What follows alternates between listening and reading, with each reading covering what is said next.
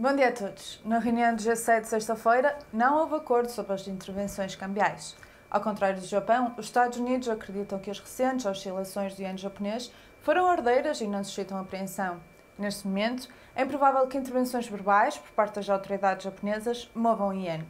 Considerando os dados fracos, a especulação sobre a possibilidade da adoção de medidas de flexibilização adicionais pode manter o iene sob pressão de venda no curto prazo. Hoje, França, Alemanha e Zona Euro, PMIs preliminares setores manufatureiros e serviços referentes a maio. Discursam os representantes do FED de São Luís e de São Francisco. Amanhã na Alemanha, inquéritos IW para maio. Quarta-feira, a decisão da taxa de juros do Banco do Canadá. Na Alemanha, inquérito IFO para maio.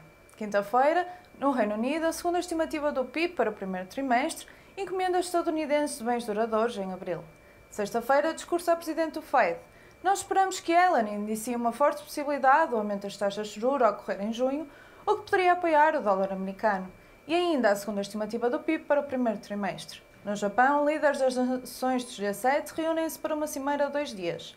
E o índice de preços no consumidor para abril. A Aeronefx deseja bons negócios e uma excelente semana.